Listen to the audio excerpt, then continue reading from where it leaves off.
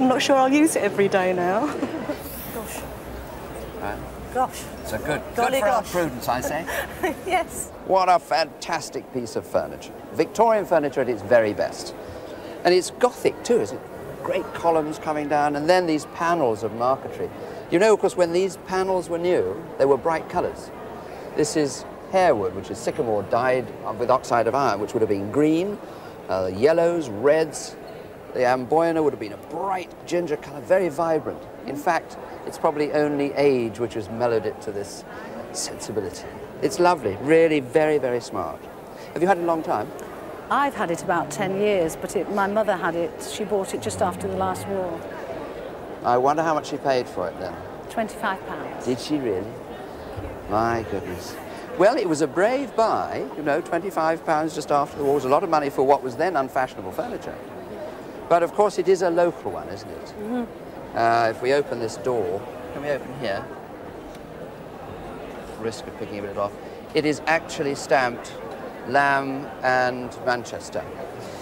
Now that immediately improves the interest to a collector because curiously the English very rarely stamped and signed their furniture. We didn't do it as the French had done in the 18th and 19th centuries.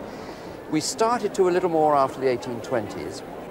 Gillows, uh, Hollands, Craces, all these people in London and Lancaster, they did start to, to put their names and occasionally pattern numbers on furniture, which of course adds greatly to the interest and the value. It can be documented. And Mr. Lamb, I suppose, is the, the equivalent to Manchester as Gillows were to Lancaster. So you've got a piece of furniture worth something as a Victorian credenza, and then you have an added value because of Mr. Lamb's name on it and the signature. So, having said that, let's just have another look at it. I think it's quite magnificent. The only trouble is you've got some of the brass beading has come off. You've got most of that inside. Yes. Uh, well, at some time it might be worth considering having it very carefully restored. But remember that it's better to have it as it is than have it poorly restored because you'll do more damage that way. So you live with it, you enjoy it. Oh, love it. Well then, enjoy it as it is Yes, and don't bother. yes. Do you have it insured? Uh, well, just with the general household uh, insurance. I would insure it for 4500 Thank you very much. Okay? Lovely. Very good. So do you know what this type of furniture is called? I know it's bull furniture, but we don't know how to spell it or what variation of spelling Because you get different spellings, That's yes. right. It's actually B-O-U-L-L-E, right. After André Charles Boulle, who was a designer and furniture maker working in the court of Louis XIV in the late 17th century. How long has this been in the family? I'm trying to date it. Um, my husband's family were mill owners and they built the big house in 1828 and this, I think, is the original furniture. It's been in there since 1828. I think. I think it just misses that date. Yeah. I think, though, that this is a French one, and it must be a bit later, 1845 or something like that. I can't quite see it as being as early as the 1820s. Uh, where's it been? It looks like it hasn't been used for a long time. Um, they've all been in a room upstairs under wraps. They haven't seen the light of day for, oh, 40 odd years. Well, it's a wonderful Dickensian image, isn't it? All covered up and all getting very dusty. Because clearly it would all clean up a bit. You've got pieces missing. And if you Yeah. uh, look at this, you can see where the brass is missing. You can see this material here, which is called tortoise shell. Right. So under here, and if you cleaned it with olive oil, which I don't recommend you do yourself, Yeah. but you'd see it would be a sort of deepish browny Oh, colour, almost with a red mm-hmm. coming through. Yeah. And in fact, it's nearly always turtle shell. Oh, People popularly think that this black furniture was mourning furniture, Yeah. but no, it wasn't. It was a very popular style, competing with the Chinese black export furniture of the 1830s and 40s. Became very, very popular indeed. And this good quality metalwork, not the best, but good quality, nicely sculpted, with a very good face in the front here on Yeah. either side. You've got a drawer on one side, blank on the other side. Stands well, looks good, and this is better than most. So a piece like this, what do you think it would bring? A couple of hundred. A couple of hundred. Three, A couple of thousand. Kidder. A couple of thousand pounds, certainly. Just this single piece on its own. Right. Cleaned up in an antique shop with the restoration done, five and a half thousand pounds. The real thing I'd like to know about it is, is it a marriage? Is it a marriage? Is it a marriage? Let me have a look at the back first. no, that's okay. Um, Well, I can understand the question because when you first look at it, it's disproportionate, isn't it? It's a little bit squat, a little bit dumpy on top. But, but no, it's not. It's a perfectly genuine and I think very special piece. I mean, I love this. Lots of things that we look at first. It has the great quality of a fine piece, but it's naive. It's a strange word to use, but quaint, I think, is probably the correct word. It's a quaint piece. It was made in the country, maybe for a squire who got great taste, but probably low ceilings or a, a smallish house. So he required all the features of a grand one, but he had to get it into a limited space. Look at the door, for example. You've noticed that's a 13-pane door. That's a magic number for 1760, 1765 uh, glazed door cabinets. The other thing is that it's quite certainly made by someone who's been making furniture for a long time. Because when you open the door, you've got an H hinge. Now that's an archaic type of hinge by 1765, 1770, usually used only on corner cupboards. And then it was going out of fashion for an ordinary butt hinge. But the one thing that's wonderful, look at that swan neck cornice. I, do you sit and wonder at that? I would. Look at it. It just is marvellous, that scroll coming round. And look at that. Almost like a paper scroll. That is magic. I think that's... I covet this piece. If you hadn't already guessed... now then, the base part is a very good standard bureau. So the man was used to making a bureau, but he he was a bit uncertain when he came to trying to fix all that into a small space. Tell me about this. How long have you had it? Is it a family piece? It's, a, it's been in the family for about 50 years, and it was uh, left to me by my mother in the 1980s when right, she died. Right. And, and you don't do anything with it, just look after it? And... Just a little bit of polish now and then. Excellent, excellent.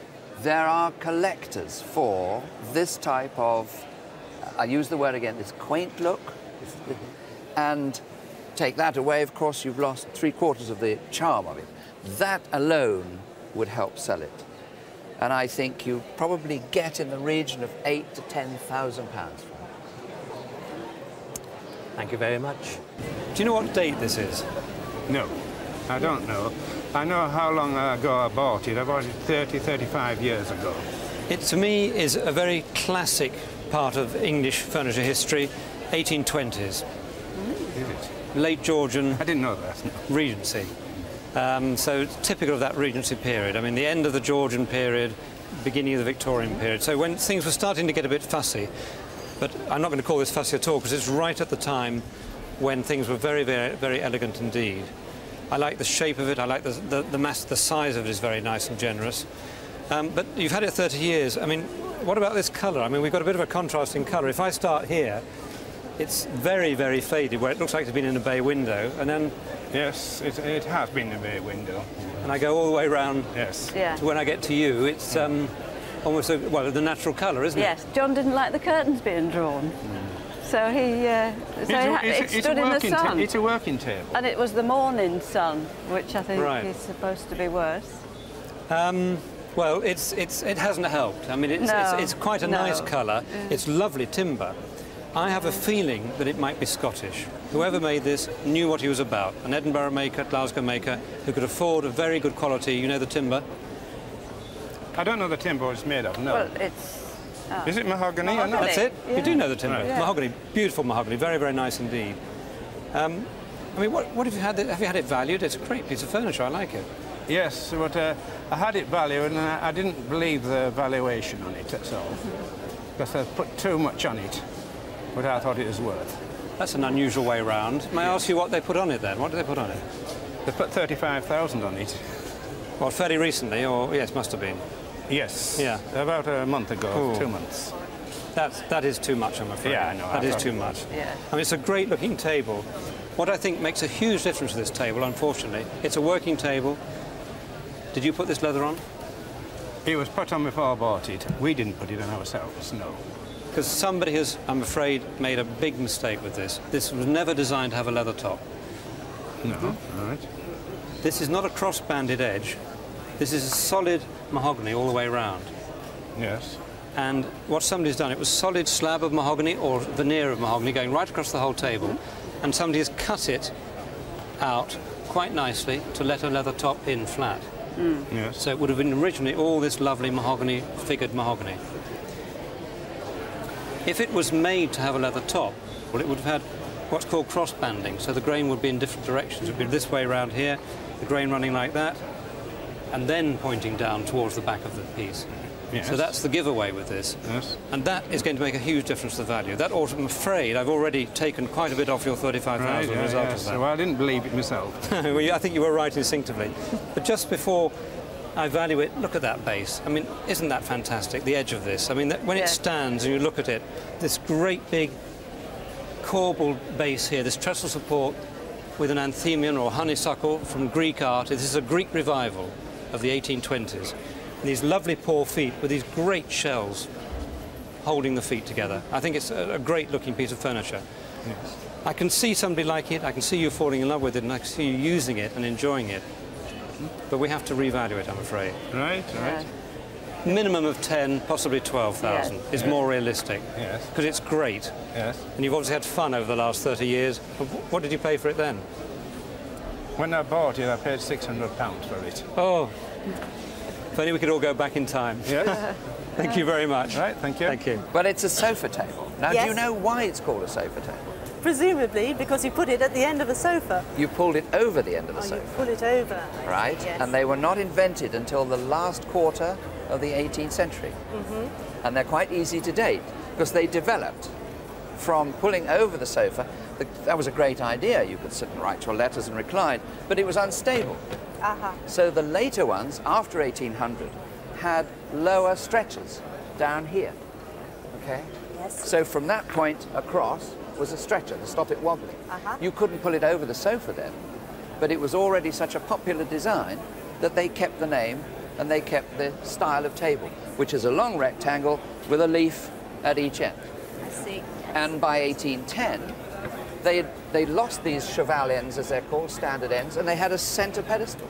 And it was still called a sofa table, and now people put them behind sofas. So that's the development. So we know that this one is prior to 1810 because of its structure underneath.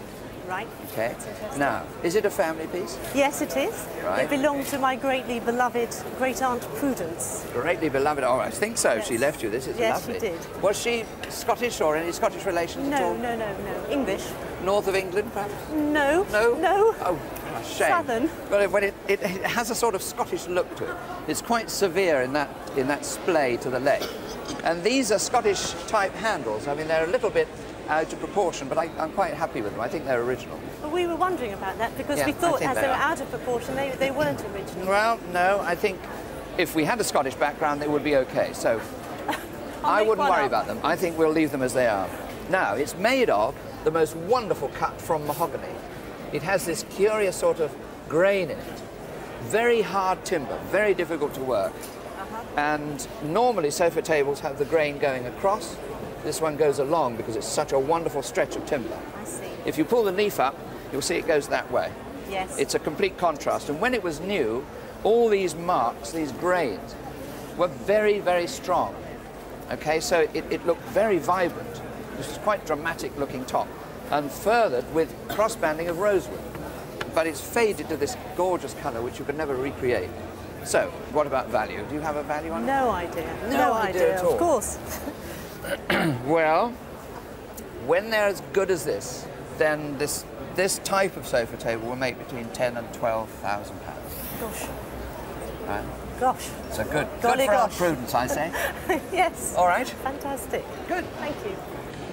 Well, they were made to replace the original brocade on the chairs, which were in tatters. Right. And I was interested in needlework. It was my hobby, really. Still is. And I got these designs from the Royal School of Needlework in London and gradually got them two at a time. And gradually, over a period of about three years, I finished them. Well, I think the, the colours are quite remarkable because they are absolutely and precisely what they should have had. I can take no credit for that. It's the Royal School. I think it's very modest of you. I think you should take every credit in the world because they're beautifully done. They are, in fact, from the back of the paw. When I first saw them, I thought that there was a chance that they might even be original because this colouring and this design is so right for the chairs, 1720 to 1735, that sort of period. They are a curious design chair. I'm going to actually stand up and have a look at one in detail because you've got all the sorts of designs from the top that you would expect to see in a 1745 chair. Um, but then you have this solid splat back, which you'd expect up to 1720. You have cabriole legs with carving at the knee, which is fine for anywhere around about that sort of period, first half of the 18th century. But this really rather lovely turned column and then a square block at the foot, which had gone mostly out of fashion by about 1730. So you've got this sort of uh, almost a hybrid in design, but very attractive for that. And there's no question that these are English and provincial and early 18th century. So there's no question of their authenticity, except I'm slightly concerned about four of them, and you've actually had those made, haven't you? Six were bought as originals. Right. And four were bought to make up the set, including the two carvers. The two They- carvers were not original. They uh, were remarkably well done, and the only thing that gives them away is that the passage of time has corroded the polish that was put on, and you can see here where it's worn through, the colour is, is golden. It, it has yes, depth I to see it. that. And Whereas here- this is dark. Exactly. You can see the pale edges. I remember Arthur Negus used to say, Dear Arthur, you say, no white edges, he would No say. white no edges. white edges. Well, there, bless him, that you'd find a perfect example of what he was talking about. Well, the chairs, the modern ones, the reproductions, would cost you possibly somewhere in the region of um, a thousand pounds each chair to, to, to make today Yes. as fine as this. And so there's £4,000 for the new chairs, and for the six old ones, today's value would be between eight to £10,000. Fourteen thousand pounds in all. Frightening, I know, but It is rather. yes. Yes. Um, you won't mind me mentioning this, that you actually won a prize for the needlework. That was very strange. My wife was connected with the uh, Scottish Women's Rural Institute. She was the Federation president. Right. And they, they had a show, I think, in this very hall. And they had a husband's class. and I and I made these. Made, got it for that. Well done. Well, congratulations to you. They're very, very fine. At Mr. Cutler's in Sproughton. Sproughton, that's near here. Yes, that's right. to be left at Mr. St. A. We don't know Mr. St. A. At the Golden Lion in Ipswich. Isn't that wonderful? Of course, any bit of information like that on the back of a piece of furniture in that lovely old writing adds tremendous interest. Lots of furniture was transported all over the country and left at different pubs for collection with the, the next coach or the next carriage. So we know that this one was intended for this part of the world anyway, which is lovely. And the other nice thing about it is, of course, its size. Bearing in mind this little chest was made around about 1690, 1700. To get one as small and compact as this in such lovely condition is really quite unusual. And you use it every day? Yes, I do, yes. Good. And, and it is your family? It's on permanent loan from my boyfriend because I've got more clothes than he has. Well, that's pretty good. Let's have a look. Actually, I want to take one of. As you take the drawers out, and you'll see when you look inside, oak linings to the drawers. When you look at the back of the drawer front, it's pine. Soft, cheaper wood. They didn't need to use an expensive timber on the front, which was going to be covered with this wonderful veneer. Now, the veneer is laburnum, and you cut it in two different ways. It's a very, very hard, dense wood, and you cut it either at right angles across the branch or at about 45 degrees, rather like French bread, and you get these wonderful ovals that they mm-hmm. call oysters. You can see those all over the mm. top. The official name for that is parquetry, mm. as against marquetry. Each piece is laid on separately, and then the picture formed of these wonderful shapes.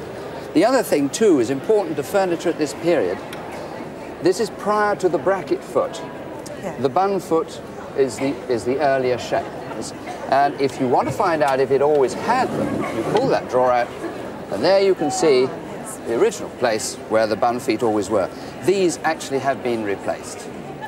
But considering it would have stood on either a floor in a bedroom, which would have been wood, but would have been knocked about, the very point of contact under there is weak, would have broken away, or of course if it stood downstairs, it would have got washed on a stone floor and rotted. So that's no real detriment to a piece of this quality uh, to have replacement feet.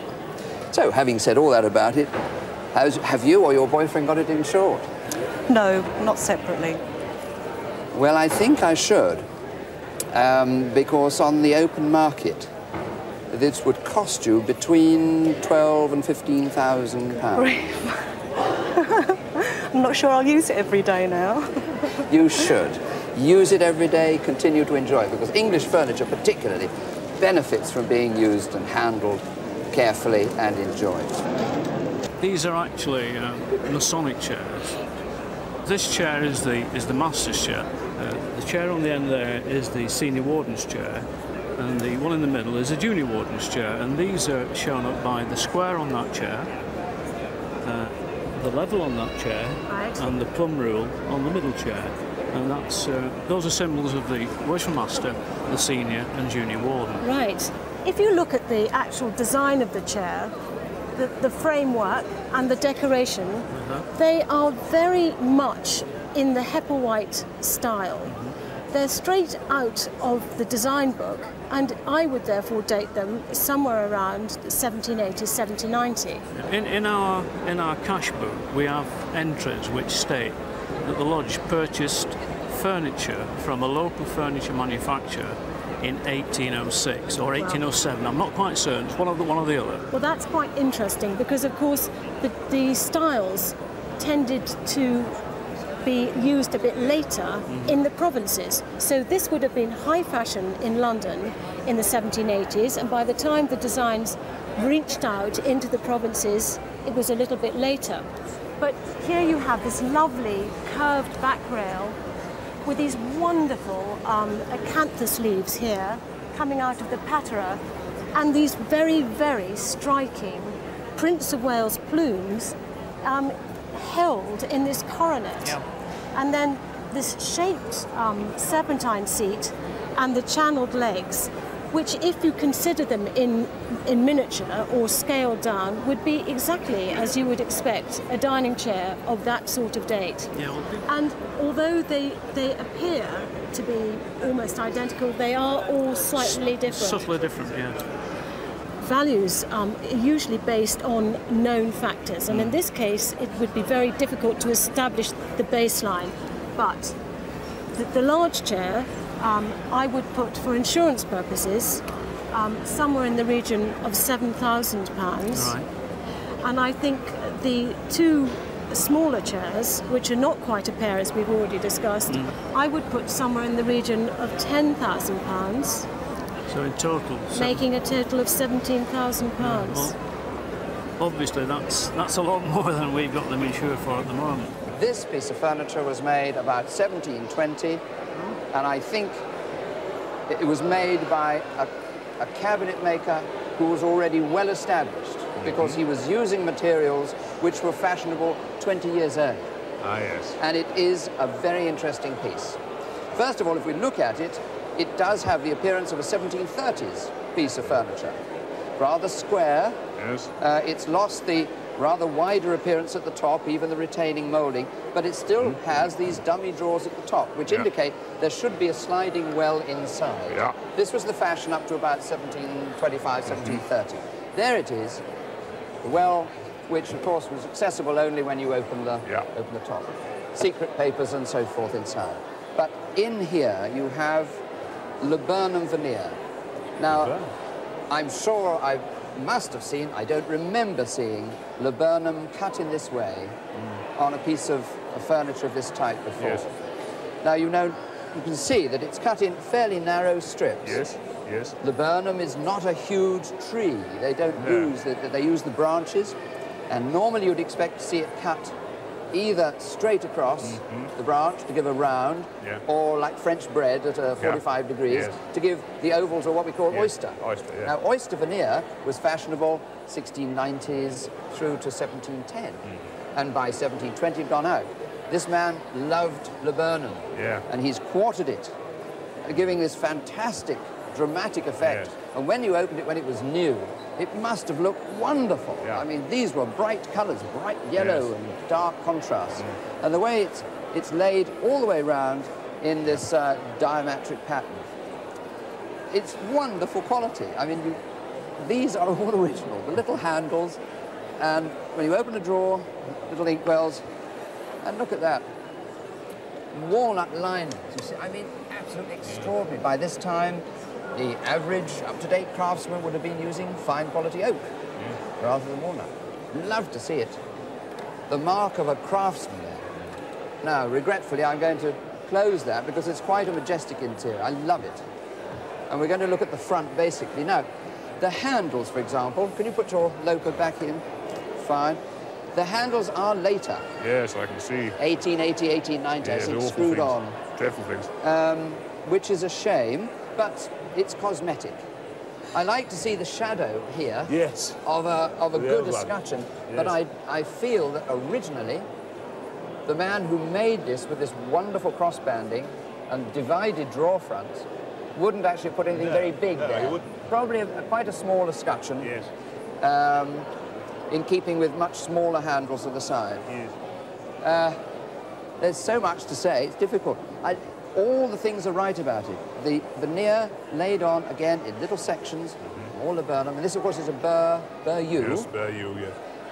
It's that magic colour that, that only this period can create. Yes.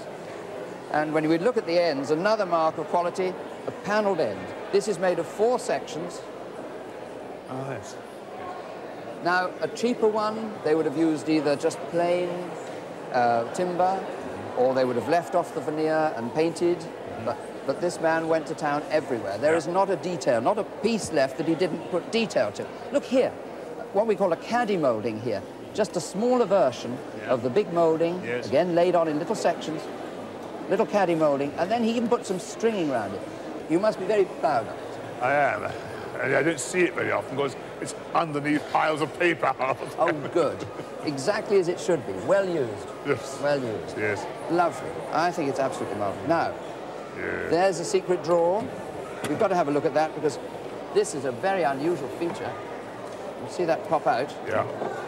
Now, there's the oak lining, you see, which you would have Yes. expected to see in the Yes. top. Yeah. Nice thin drawers, nice thin drawer linings. And that's kept in place by this little spring. Yeah. It's a bit tough, and you can see where people have actually probably tried to force it up Yeah. with a screwdriver or something, make these little dents. Left. The Ah. man that wrote that was working in 1720. I mean, it's magic. I've never seen that. Absolutely I've never wonderful. that before. Just to make sure you put it in the right Yeah. place. Altogether, a quite exceptional piece of furniture which is still usable today. It looks beautiful today. Yeah. It's been through, what we call it's been through the mill. It's had some restoration. Yes. It doesn't matter. It's part of its history. Yeah. And leave well alone. Leave it, enjoy it, and use Yes. it. Oh, it feels good. Good. Now, we've got to get on to the commercial aspect uh, of insurance. What you've got to consider is the sort of valuation you get if you went to a good dealer or an important auction. For it's a very, it's a specialized piece. And to replace it, you'd have to think somewhere in the region of 15 to 18,000 pounds. Uh, yes. It is a very valuable, very interesting, very lovely piece of furniture. I'm very glad. Thank you very much. Do you have any family history which might relate to Scotland by any chance? Yes, Oh, good. yes. Um, it was left to me by my grandmother. Mother, uh, in 19, she died in 1947. Uh, but both families originally came from New Galloway, uh, that sort of area. Wonderful. Well, this is a Scottish sideboard. We call it Scottish Sheraton because it's in the style of Sheraton. Ah, oh yes, Sheraton. And yes. that would be about 1790, 1785, 1790. And we would date it from the following features. First of all, you have this very elegant slight bow, three nice shallow drawers to the frieze, very careful choice of timber, giving all these wonderful waves going right the way through, standing on four of the most wonderful square tapering legs with spade feet at the bottom. The whole thing has a superstructure which is really peculiar to the northern counties and Scotland at this time, which is this box-like um, uh, structure on top with sliding doors. You don't find that in southern counties furniture at this period. And here again, they have used the most amazing choice of timber and laid it as veneer so that you get this mirror image. And then right in the middle, not knowing quite which way to go, they put it upright. Absolutely stunning. The colour is as good as you'll ever see. And just enough marks on it to show it's been used as a sideboard. That's what I like to see. If we just have a look inside, one of these, this drawer will do. And I don't really need to because it all looks so right, but those are the original handles. That's what a handle should look like inside. The little round nuts which hold the uh, screw threads for the front of the handle, slightly sunken in, not totally flush, and wonderful quality throughout. Now, there is one thing about the sideboard which I don't know if you've ever noticed, but it's the mark of the most wonderful quality. When you look at it from the front, straight on, you see four square taper legs with a little spade foot. Yes. When you stand from the front and move to the side, you then see that the front leg is not a square, it's a diamond. And that is the most wonderful thing because just imagine drawing that, let alone making it. It's the most complicated geometric thing to do. The man who made this was a master craftsman. And the man who designed it was a master. And I don't know if you have any valuation for insurance or replacement or anything like that. Well, if you wanted to replace this sideboard today from a good, and it would have to come through a good agent, dealer, a gallery, you'd have to pay round about £25,000 for it. How much? 25,000. Really? Good heavens. It's, it's as good a sideboard as you'll ever see.